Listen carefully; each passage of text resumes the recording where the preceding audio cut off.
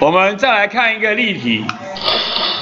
现在有一欧姆跟两欧姆串在一块，然后再去接一点五伏特，也是一样求各灯泡电流，求每个灯泡的电压、电位差，还有导线电流所谓的总电流。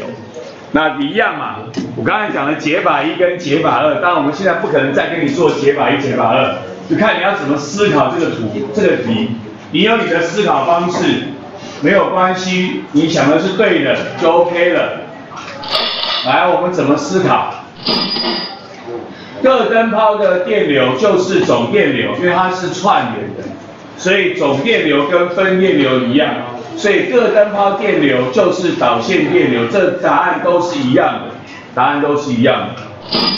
那导线电流是总电流，总电流要用所谓的总电压，要用所谓的总电阻去求所谓的总电流，算什么带什么。好了，总电阻有吗？没有直接告诉我，但是是两个串联，串联你会求吗？相加嘛，所以我可以求总电阻。总电压有吗？它有告诉我一点五伏特嘛，所以就是应有尽有嘛。所以串联的时候电阻相加嘛，所以我就知道它是总电阻三欧姆。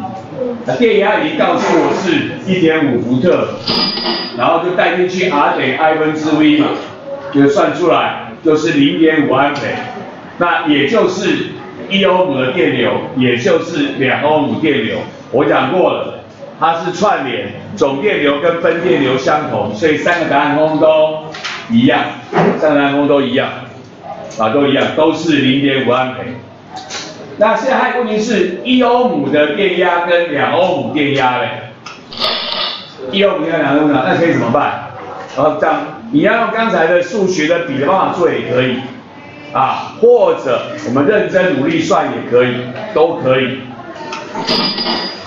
那我们就认真努力算，也一样嘛，算什么带什么。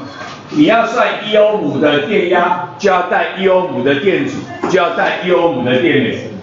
好，你要算两欧姆的电压，就请带两欧姆的电阻，请带两欧姆电流。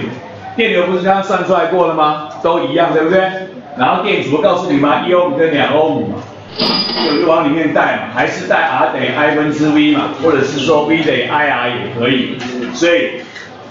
一欧姆电压不知道，电流零点五，刚刚算出来的，所以就是零点五伏特。